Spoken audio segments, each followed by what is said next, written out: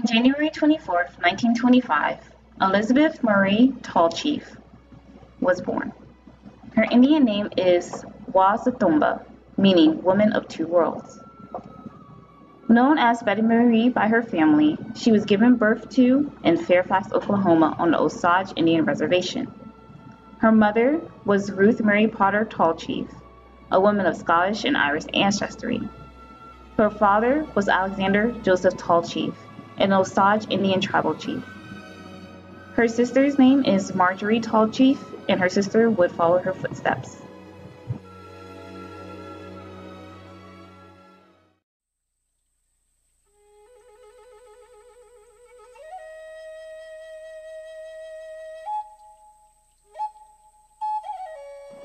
Marie began ballet lessons at the age of three and frequently performed before civic organizations in Osage County. In 1933, at the age of eight, Marie and her family moved to Los Angeles. Since she and her sister had exhausted the training resources in Oklahoma, Tallchief's mother wanted her daughters to study at a fine dance school. Tallchief was trained by Ernest Belcher. He saw Maria's potential and fixed the poor habits retained from past training. After several years with Belcher, in 1936, Maria moved to a dance school run by Madame Nijinsky. In her autobiography, Maria Tallchief, America's Prime Ballerina in 1997, she wrote of her childhood. I was a good student and fit in the Sacred Heart, a Catholic school. But in many ways, I was a typical Indian girl, shy, docile, introverted. I loved being outdoors and spent most of my time wandering around my big front yard, where there was an old swing and a garden. I also rambled around the grounds of our summer college, hunting for arrowheads in the grass. Finding one made me shiver with excitement. Mostly, I longed to be in the pasture, running around where the horses were. Maria attended Beverly Vista High School, where she faced frequent taunting. She remarks, her high school experience saying, Some of the students made fun of my last name, pretending they didn't understand it It was tall or chief. A few made war whoops whenever they saw me and asked why I didn't wear feathers or if my father took scalps. After a while, they became accustomed to me, but the experience was painful. Eventually, I turned the spelling of my last name into one word. Everything in school was in strict alphabetical order, and I wanted to avoid confusion.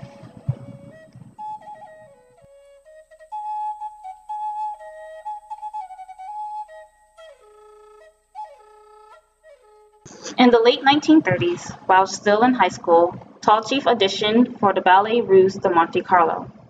Because she had not finished high school, the director wanted her to finish first before professionally dancing.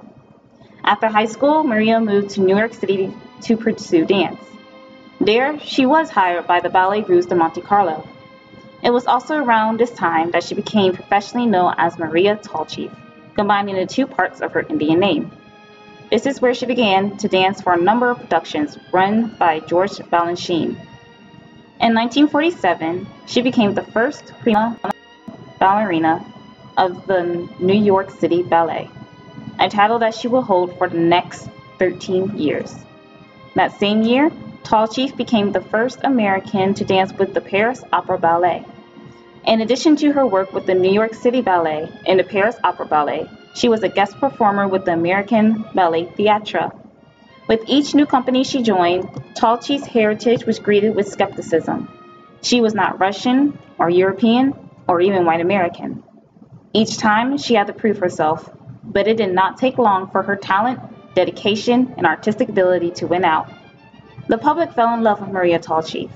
Tallchief was called upon to dance as many as eight performances each week, and her legend grew. Maria Tallchief quickly became a popular figure in ballet, performing in productions such as Orpheus, Scotch Symphony, Miss Julie, Firebird, and The Nutcracker, performing as the Sugar Plum Fairy. Maria retired in 1965, surprising the world. After retirement, Maria Tallchief worked with the Lyric Opera Ballet and the Chicago City Ballet, which she and her sister, Marjorie, who is also an acclaimed dancer, helped found. She also served as an honorary artistic advisor to the Chicago Festival Ballet. During her career, Maria met and became involved with the famed choreographer George Balanchine. The couple wed in 1946 and separated in 1951. While their marriage was short lived, the two worked well together. They had no children. In 1956, Marie married her second husband, Henry Buzz Paschen. This marriage lasted until he died in 2003. They had one daughter, Elise Paschen, born in 1959.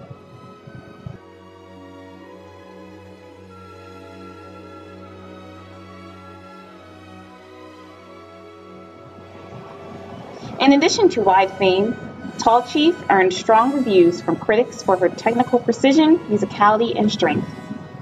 In 1996, Tallchief became one of the only five artists to receive the Kennedy Center Honors for their artistic contributions in the United States.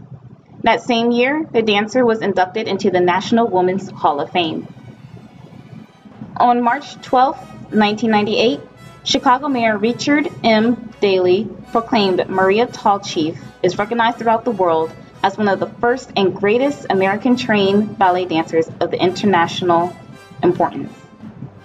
In 1999, Tallchief was awarded the National Medal of Arts, the highest award given to artists and art patrons by the U.S. government, which honors individuals who are deserving of special recognition by reason of their outstanding contributions to the excellent growth, support, and availability of the arts in the United States. President Clinton himself even stated, Marie Tallchief took what had been a European art form and made it Americans' own. How fitting that a Native American woman would do that. She even has a statue of her and four of the Native American ballerinas in Tulsa, Oklahoma, called the Five Moons.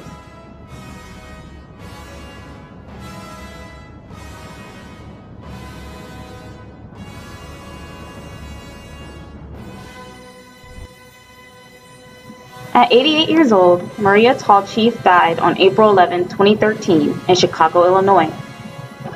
She was survived by her daughter, Elise Paschen, her sister and fellow ballerina, Marjorie Tallchief, and two grandchildren.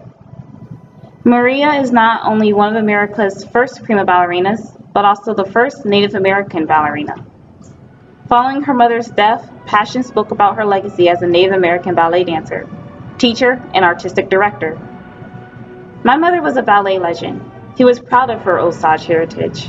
Her dynamic presence lit up the room. I will miss her passion, commitment to her art, and devotion to her family. She raised the bar high and strove for excellence in everything she did. Tallchief was a trailblazer for Native Americans in the world of ballet.